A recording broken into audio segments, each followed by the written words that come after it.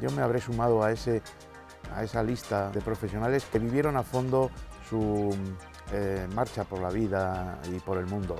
Esta marcha comenzó en Meléndiz, un barrio de Arratzu junto a Guernica.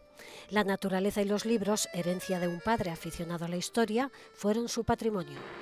Nacido cuatro años después del bombardeo de Guernica, una vez roto el tabú del silencio, comprendió lo que aquella acción de guerra significaba. Ya había un interés, una intención por parte del mando franquista de eh, llevar a cabo una condena eh, con la mayor dureza posible que sirviera de escarmiento a ese pueblo que luego llamaron traidor un escarmiento al pueblo vasco. En 1965, la Vuelta al Mundo en Jeep, que inició con unos reporteros americanos, se alargó de seis meses a tres años, porque se quedó de corresponsal de guerra en Vietnam, un país que le enamoró.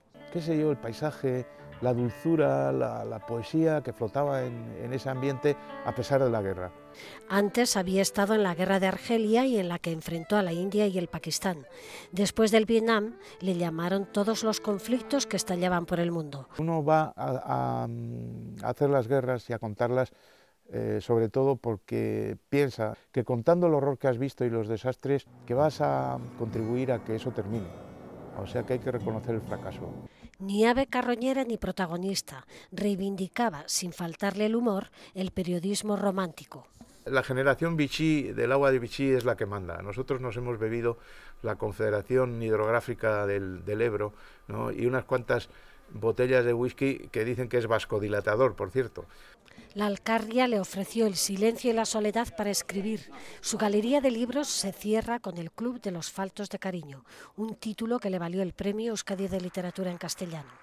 Desde la vida sencilla, reposando todo lo pasado, un único deseo. Lo único que, pido eh, es bondad en la gente. Lo único que pido de todo lo que he aprendido en la vida, solo me queda eso.